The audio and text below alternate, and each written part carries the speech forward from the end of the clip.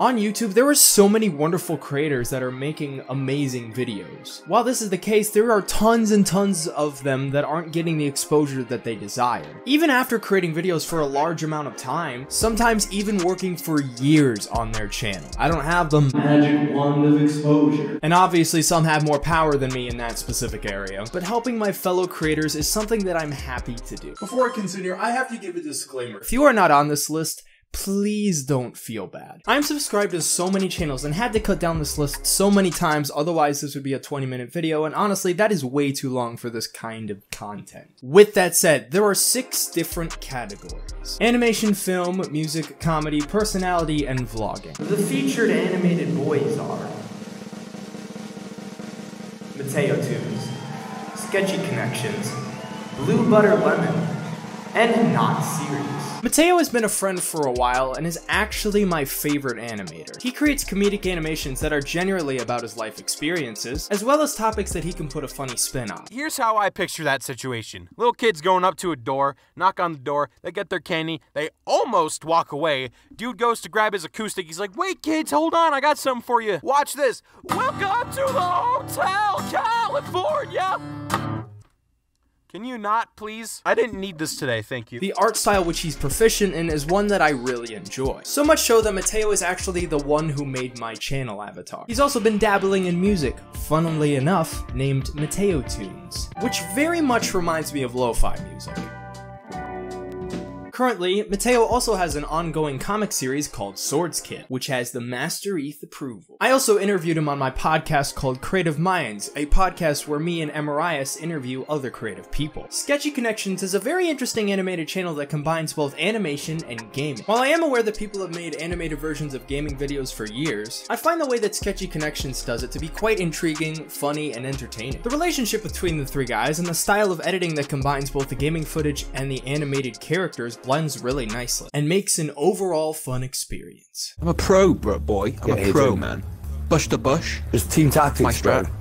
Strat. If you if you Push move the in, push tell us strats. that you're moving. Blue Butter Lemon is a person that I met on a Discord server that makes cute animations. While the channel also consists of song mashups, the animations are definitely my favorites. One reason why I find them so interesting is because they are short little stories that are easily consumable, which makes it unbelievably easy to binge all of them. Another factor is how alive the animation looks, and how it affects how this little guy interacts with different objects. There's also no sound, which at first I thought to be a downfall actually adds to the experience of storytelling with a show not tell mentality, which genuinely invests me in these bite-sized stories. My newest discovery on the animation scene is a small boy called Not Serious. Originally, he started off animating other YouTubers, but then dived into making original animations and updating his art style.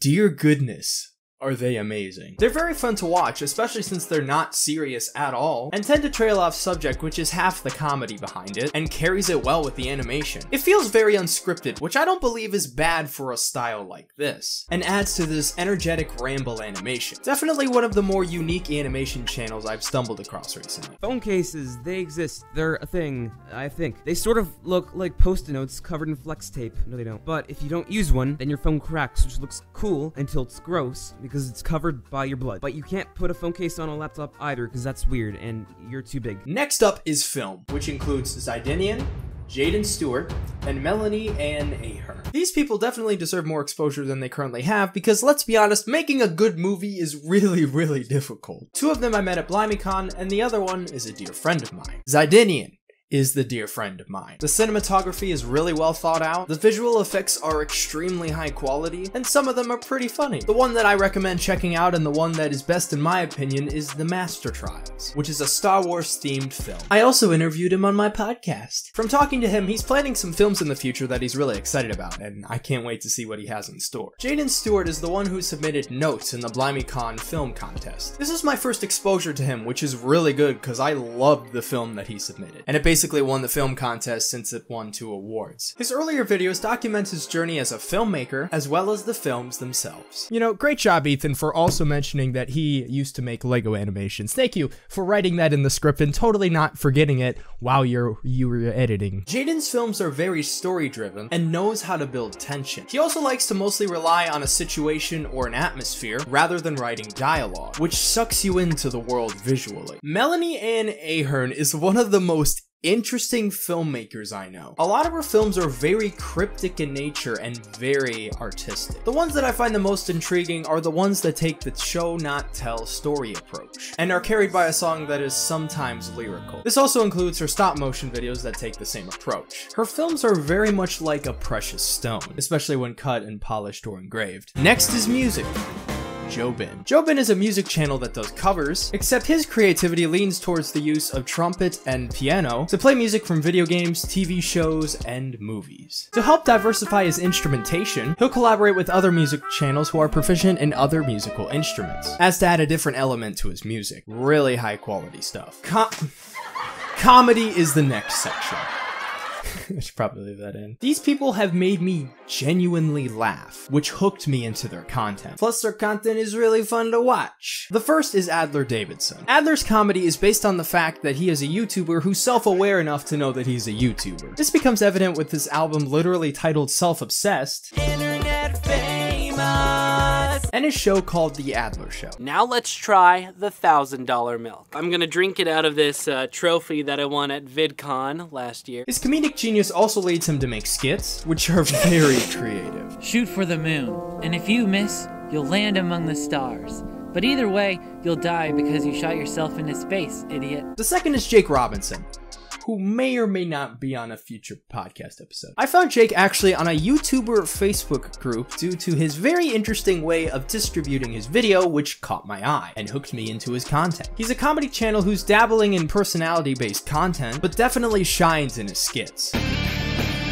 Your total is 321. Is that going to be cash or credit today? I'll pay with Um, Uh, all right. Have a nice ah! The anime video currently, in my opinion, is his best video. The third is Skinny Samurai. I don't think I've ever said that out loud. His comedic videos are sometimes shorter, which remind me a lot of Gus Johnson, which is another skit channel. What do you mean? It's your turn to do the dishes. Look, you either respect the schedule or start paying rent. Alright.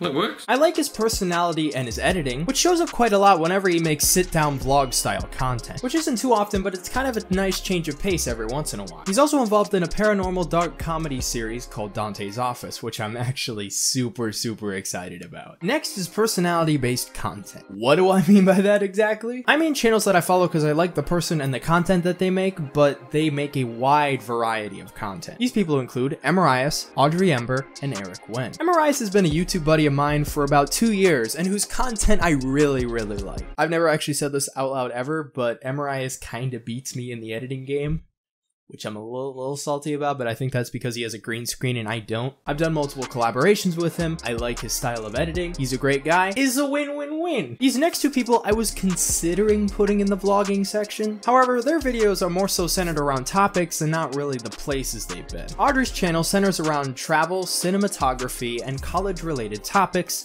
as said by her About section. Audrey's personality is very genuine, especially since her content revolves around herself. Not in an egotistical way, but as a way for her to document her journey as a creative person and to provide value to other people. Eric Wen is kind of in the same vein as Audrey, except his goal is to encourage accountability, thoughtfulness, and self-improvement, which is also very uh, clear in his About section.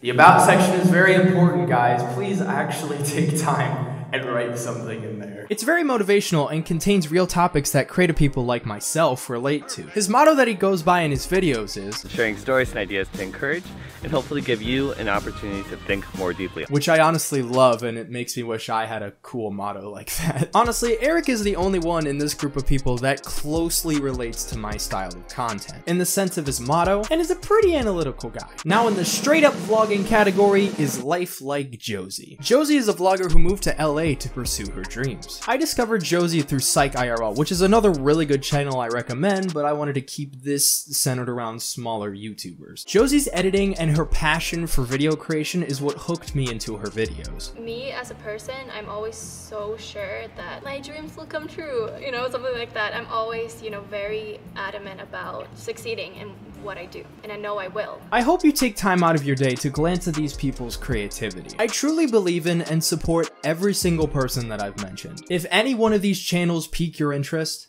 I strongly recommend you check it out. I'm thankful for each and every one of them, and I'm thankful for you watching my video. Happy Thanksgiving, everybody. Go eat some pumpkin pie. Go spend some time with your family. Get off YouTube. If you're new here, please subscribe and press the bell to all of the channels that I mentioned. Ha! You thought I was gonna see me. Well, well no. Check them out. Sub, sub to them. They make great content, mate. And, uh, yeah, it's pretty, pretty, pretty good. Pretty good stuff.